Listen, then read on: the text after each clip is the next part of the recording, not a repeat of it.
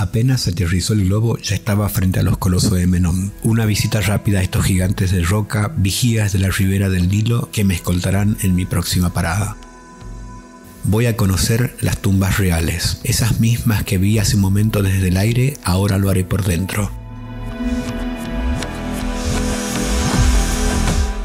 El Valle de los Reyes fue una necrópolis pensada por los faraones de aquel entonces, sitiado en un punto de difícil acceso, con la esperanza de que sus tumbas pasaran inadvertidas a los ojos de los profanadores que saqueaban para hacerse con los tesoros que se mandaban a reunir para el largo viaje hasta el reino de los muertos, a diferencia de lo que ocurriera con sus antecesores que se habían hecho sepultar en pirámides. Es así que este espacio, el Valle de las Cien Puertas, se convirtió en casi un hormiguero, donde fastuosas últimas moradas fúnebres fueron excavadas para sus gobernantes. Comienzo el primer descenso, en la KB 8, perteneciente a Mereptat, uno de los sepulcros más antiguos. Esta posee todas las características arquitectónicas de la época. Un pasillo muy muy inclinado y profundo, con decoraciones en sus muros y techos que dan acceso a la cámara funeraria amplia con varias columnas y de techos abovedados, donde en algún momento existieron cuatro sarcófagos de granito.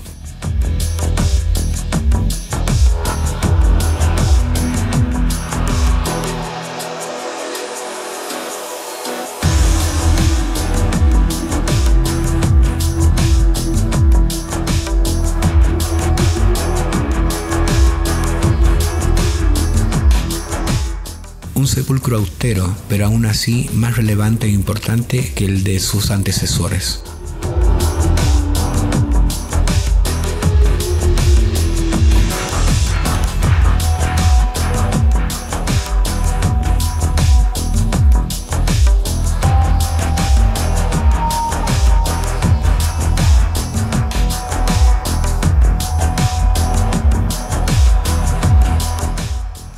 Continuación prosigo con la sepultura de Ramses IX, imponente en todos los sentidos.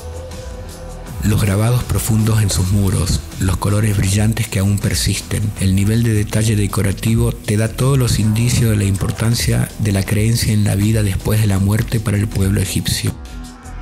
Esta visión fantástica que se describe en el libro de los muertos se ve plasmada en las salas y pasadizos. Estos textos son como una especie de guía de viajes para llegar al otro mundo. En ellos se le explica al faraón cuál era el camino que tenía que seguir y el modo de sortear los obstáculos que pudieran presentársele. De este modo, el faraón podía estar seguro de que su alma llegaría intacta al más allá para vivir eternamente.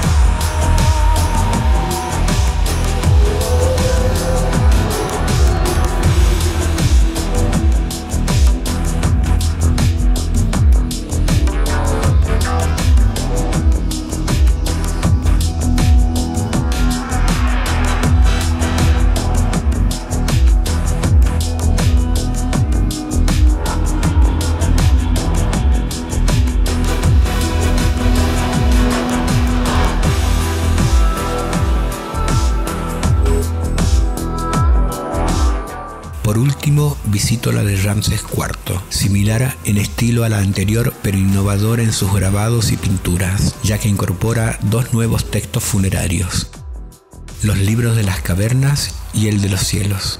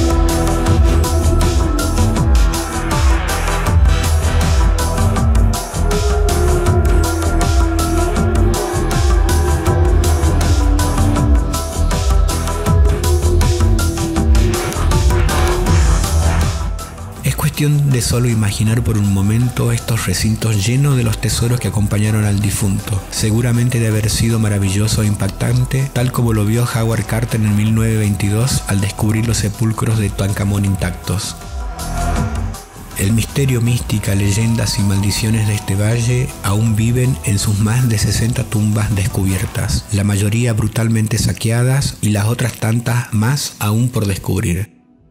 Siguiendo mi camino de explorador, voy hacia Deir al-Bahari, en donde en sus laderas se encuentra el fabuloso templo funerario de Hatshepsut.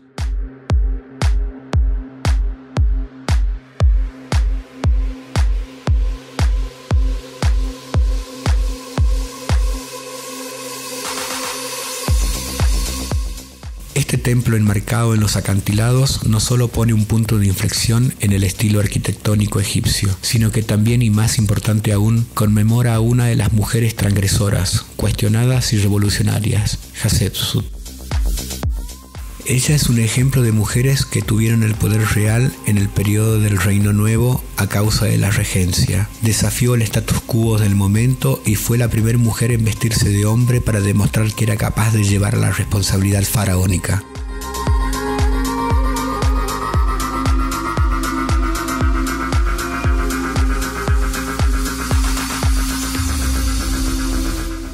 Y así, Hatshepsut, con apenas 30 años, inauguró proyectos constructivos que sobrepasan por mucho a los de sus predecesores.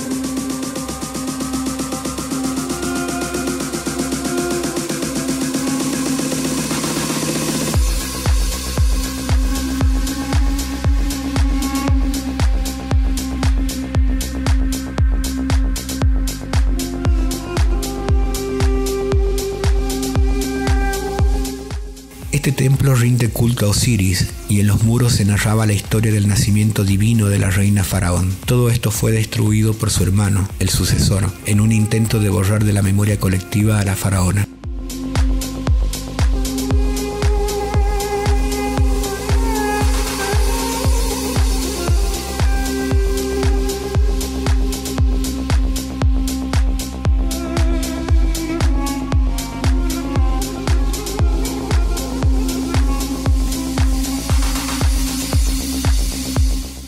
Terminan mis días en Luxor y me voy con mi mochila cargada de momentos únicos y maravillosos.